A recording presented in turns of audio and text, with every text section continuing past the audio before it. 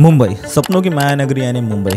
आज तक जितने भी लोग मुंबई गए होंगे या जाने का प्लान बना रहे हैं, उनके मन में एक ख्याल होगा, मुंबई जैसे जाऊँगा, सबसे पहले जाऊँगा मरीन ड्राइव पर और जाकर वहाँ पर सनसेट या सनराइज देखूँगा। तो भाई, मैंने भी जितने वीडियो देखे, मेरे मन में ये ख्याल आया कि मुझे जाना सबसे पहले मरीन ड्राइव और वहाँ पर जाकर सनसेट या सनराइज देखना है, किसी भी हालत में। तो फाइनली मैं अपना बैग बुरा बिस्तर बाँध कर निकल पड़ा हूँ मुंबई के लिए। मेरा सफ़र होगा चंद्रपुर से मुंबई और मुंबई से सबसे पहले जाऊँगा मरीन ड्राइव पर। तो आप मेरे इस कहानी पे, मेरे सफ़र पे बने रहिए, मेरे ब्लॉग में बने रहे और चैनल को सब्सक्राइब कर दीजिए। वीडियो के एंड तक बने रहेगा और बाकी पसंद आए तो लाइक ओवर कर सकते हो। तो मेरे इस कहानी में बने रहने के लिए आपका धन्यवाद। सफ़र कैसा है ये सफ़र? मंजिलों की और प्लेटफॉर्म में हम पहुँच गए और काफ़ी दौड़ने के बाद पहुँच गए ऐसे लग रहा था कि छूट जाएँगे आज बट अभी आने वाला है। कुछ ही समय में हमारा ट्रेन हमारी ट्रेन आ चुकी है।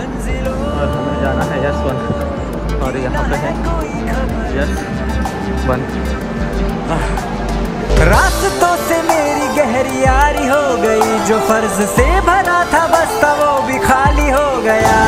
बुरा है सोलह के समय हम पहुँच गए नागपुर के रेलवे स्टेशन में और अभी हमारा यहाँ मतलब यहाँ से करीब बारह बजे का ट्रेन था तो वो बारह बजे का ट्रेन अभी दो बजे हो गया मतलब दो घंटा लेट है। तो करीब अभी बज रहे हैं रात के दस और अब मेरे पास है चार घंटा। तो देखते हैं क्या कर सकते हैं। और नागपुर का जो रेलवे स्टेशन है काफ़ी मतलब काफ़ी ज़्यादा सुंदर है यहाँ पर देखो रेलवे स्टेशन। साइड में हल्दीराम का ये चमचमाता हुआ ट्रक क्या बोलते हैं रेलवे का एक बोगी और यहाँ पर ये रेलवे।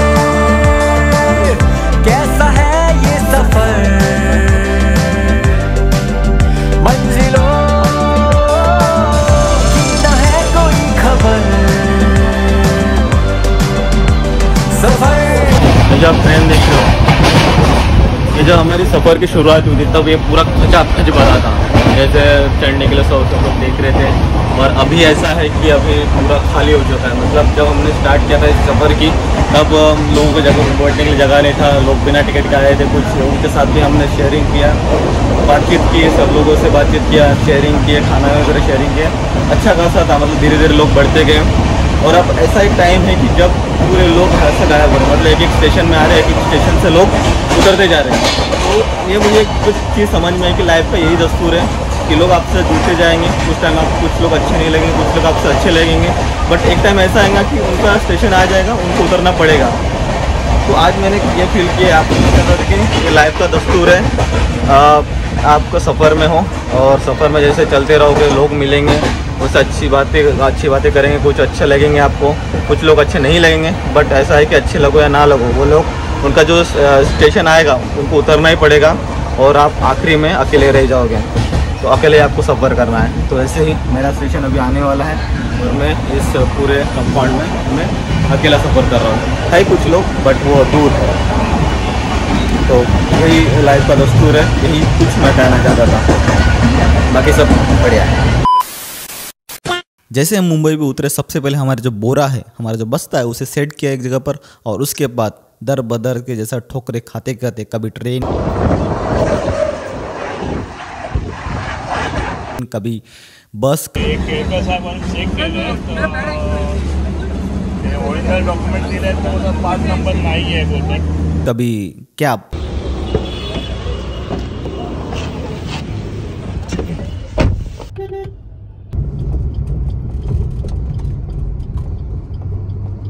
सभी हमने यहाँ कैब कर लिया है और कैब करने की वजह ये है कि जिस जगह में हमें पहुँचना है वहाँ पर मुझे छः बजे तक किस, किसी भी हालत में पहुँचना है। अगर छः के बाद अगर पहुँचा तो जो मज़ा मैं देखना चाहता हूँ जो चीज़ मैं देखना है वो जो चीज़ मैं आपको दिखाना चाहता हूँ वो शायद हो नहीं पाएगा। इसलिए हमने फटाफट अपनी रफ्तार को बढ़ाया कैब कर लिया और हम अभी करीब कितना? और दस बीस मिनट में पहुँच जाएँगे। तो जो हमें देखना है वो, वो मैं देख पाऊँगा और आपको दिखा भी पाऊँगा। तो बस कुछ ही देरी की बात है हम पहुँच जाएँगे वहाँ पे। बाकी सब बढ़िया है। ऐसे करते करते हम हमारे डेस्टिनेशन में फाइनली पहुँचने वाले हैं। तो गैस तो इतने सारे लोग यहाँ पर आपको दिख रहे हैं और इन सभी को देख के आपको एक बार पता चल गया होगा कि ये कौन सा जगह है। ये है मरीन ड्राइव तो हम फ़िलहाल है मरीन ड्राइव में और यहाँ का व्यू देखा काफ़ी औसम और लोग देखो यहाँ पे भरपूर सभी लोग यहाँ पर है अभी भी और मतलब अभी भी मतलब क्या, अभी भी है इसका मतलब ये है कि अभी है और पूरे जगह पे आप लगे एक टू छेट पूरे लोग भरे हुए हैं और यहाँ पर सनसेट हो रहा है, क्या सही नज़ारा है यार, मस्त लग रहा है। सनसेट होगा हम बैठ के देखेंगे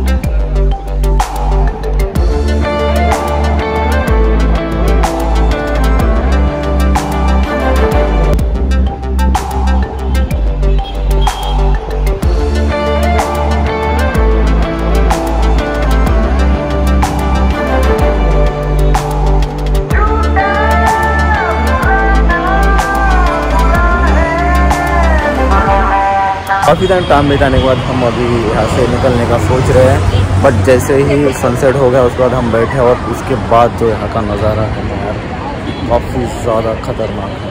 मतलब काफ़ी ज़्यादा आई कैची और काफ़ी ज़्यादा अच्छा लग रहा है। मतलब सुबह भी अच्छा तो लगता है बट जो रात का जो यहाँ का लाइटिंग है ना, वो भी काफ़ी चाँद चाँद लगा देता है जगह को। पूरा देखो, पीछे देखो कपल सॉरी होता है मतलब इस जगह को मतलब इसीलिए फ़ेमस है इस जगह की मतलब इस जगह को लोग इसलिए बोलते हैं कि लॉस पॉइंट पीछे यहाँ पे देखो गले थे हाथ पे गले क्या क्या कर रहे हैं। साइड में बैठ के था लेकिन वो ऐसी अजीब हर एक हरकत कर रहे थे क्या बताओ पैरों को बांधे बेड़िया बताए सौ कहानियाँ। पूरे जगह पर लोग ही भरे पड़े हैं और आप देख सकते हो पूरा मतलब पूरा जो मतलब यहाँ का माहौल है, अलग ही हो चुका है रात में। और लाइटिंग की वजह से बहुत ही ज़्यादा अच्छा लग रहा है। और यहाँ पर पूरे लड़के, लड़कियाँ, हर लोग हैं। अलग अलग चीज़ें कर रहे हैं, कोई बैठा है, कोई इन्जॉय कर रहा है, कोई रनिंग कर रहा है, कोई ब्लॉगिंग कर रहा है मेरे जैसा और कोई सब्सक्राइब कर रहा है आपके जैसा और लाइक भी कर रहा है आपके जैसा। तो दोनों चीज़ें कर दीजिए और काफ़ी ज़्यादा मतलब अच्छा लग रहा है मतलब क्या बोलूँ, इससे ज़्यादा एक्सप्रेस क्या करूँ मैं? और यही चीज़ दिखा सकता हूँ आपको, जो इस तरीके का जो व्यू यहाँ से है, मिल रहा है, ये इस तरीके का व्यू आपको मैं दिखा सकता हूँ। ये देखो, कमाल का व्यू यार सही में। जो आँखों से देखा हुआ चीज़ें, वो बताया नहीं जा सकता। और कितना भी बोलूँ, कितना भी मैं एक्सप्रेस करूँ, मैं वो फीलिंग बता नहीं सकता। तो मुझे आज मतलब अच्छा लग रहा है, बहुत ज़्यादा अच्छा लग रहा है, काफ़ी दिनों बाद तो ये देखो।